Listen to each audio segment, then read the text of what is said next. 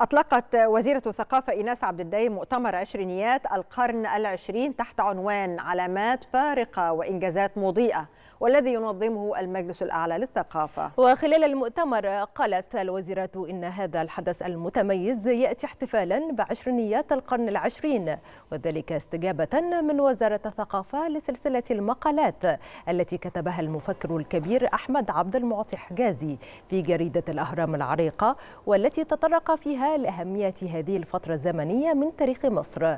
جدير بالذكر أن مؤتمر عشرينيات القرن العشرين يتواصل على مدار اليوم وغدا ويتناول النهضة الفكرية والثقافية التي شهدتها مصر خلال عشرينيات القرن الماضي من خلال لقاءات وندوات وحلقة نقاشية.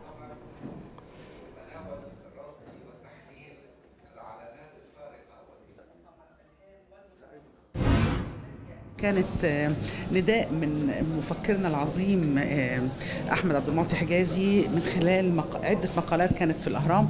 والحقيقة آخر اجتماع لينا في المجلس الأعلى للثقافة طرح هذه الفكرة معايا.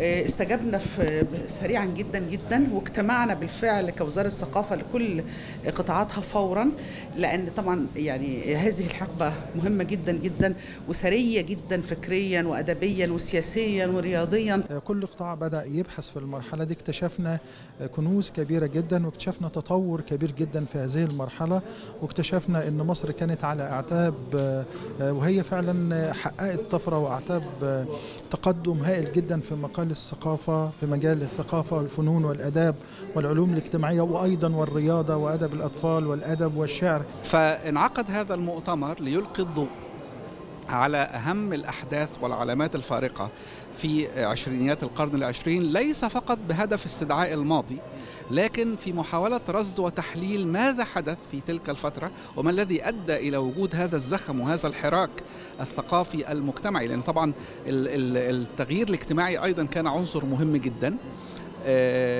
وشهد نهضة وتغيير في ترسيخ مفهوم الهوية والشخصية المصرية في تلك الفترة.